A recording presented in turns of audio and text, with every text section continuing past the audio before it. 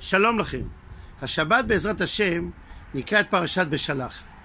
כידוע, אחרי קריאת ים סוף, משה ובני ישראל אמרו שירה לפני הקדוש ברוך הוא. שירת תודה על הנס העצום שנעשה להם. מספרים חז"ל שבקריאת ים סוף ראתה שפחה על הים מה שלא ראה יחזקאל הנביא. צריכים להבין, יחזקאל כתב מעשה מרכבה, ובכל זאת ראתה שפחה על הים, הניסים העצומים שהיא ראתה, יותר מיחזקאל הנביא. אנחנו יודעים שבני ישראל אמרו שירה כתודה. לעומתם, בתקופה מאוחרת יותר, חזקיהו המלך, שזכה לניסים גדולים, לא אמר שירה. חזקיה היה מלך יהודה. בתקופתו, הוא היה מלך צדיק, הוא דאג ללימוד תורה שבכל הארץ, שמסופר שכל ילד וילדה היו בקיאים בהלכות טומאה וטהרה. הלכות קשות, וכולם היו בקיאים. הוא היה צדיק גדול. בזמנו הגיע סנחריב מלך אשור לכבוש את ירושלים. סנחריב הגיע לשערי ירושלים עם צבא עצום של 185 אלף חיילים. הוא היה בטוח, ירושלים, עיר ענקית, צריך לכבוש אותה. וכשהוא מגיע לשערי ירושלים, הוא רואה עיר קטנה, לא רציני בכלל. למה הבאתי צבא כל כך עצום? הוא החליט לתת להם לנוח. ינוחו הלילה, זה היה ליל הסדר. מחר אנחנו נכבוש את ירושלים. באותו לילה נעשה נס. באו מלאכי השרת, והם אמרו שירת המלאכים. זאת שירה שהם אומרים אותה אולי כל מלאך פעם בחיים. אוזן לא יכולה לשמוע את שירת המלאכים. ברגע שהיא שומעת נפשם פורחת. פתחו את אוזניהם של אותם חיילים, שמעו את שירת המלאכים וכולם מתו בלילה אחד. ממש ליל, ליל שימורים הוא להשם.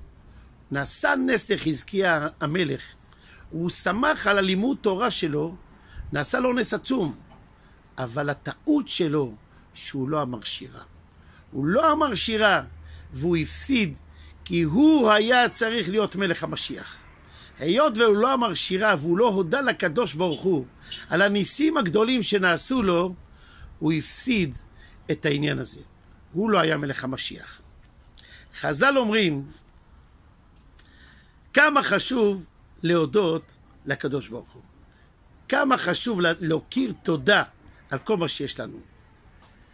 אנחנו יודעים, כשבני ישראל עברו בים סוף, המלאכים רצו לומר שירה. אמר להם הקדוש ברוך הוא, מעשה ידיי טובעים בים ואתם רוצים לומר שירה? אמרו המלאכים, אבל הנה עם ישראל אומר שירה. למה שאנחנו לא נאמר שירה? ההבנה שלנו, מעשה ידו טובים בים זה המצרים. ואתם רוצים לומר שירה, זה לא מתאים. אבל עם ישראל אומרים שירה. אומר להם הקדוש ברוך הוא, עם ישראל סבל מהם. הוא סבל מהם, אז מותר לו להגיד שירה. אתם סבלתם? אתם לא סבלתם. אז אתם לא צריכים להגיד שירה. זה מצד אחד. מצד שני יש הסבר אחר לגמרי. המלאכים רצו לומר שירה, זאת אומרת, הקדוש ברוך הוא תפתח את אוזניהם של המצרים שישמעו את שירת המלאכים וימותו כמו שמתו הצבא של סנחריב. אומר להם הקדוש ברוך הוא, מעשה ידיי טובעים בים, מי? עם ישראל. הטביעו אותם ביאור, באיזה אכזריות. כל הבן הילוד היאורה תשליכו. ואתם רוצים להרוג את המצרים רק בשירה? אנחנו צריכים לתת להם מידה כנגד מידה. הרבה יותר קשה. לא רק בשירה, זה פירוש הפוך לגמרי. ולכן אנחנו אומרים בשירת הים, האכזריים שבהם הכי אכזריים מתו כקש, כמו קש שהוצא ועולה ויורד ועולה ויורד עד שפרחה נשמתם, הם ראו שבעה מדורי גיהינום, סבלו כל כך. פחות אכזריים כאבן, הכי פחות אכזריים כעופרת. זאת אומרת שעכשיו לפי ההסבר הזה ההבנה היא הפוכה לגמרי. מעשה ידיי טובים בעם, הכוונה, בים הכוונה לעם ישראל.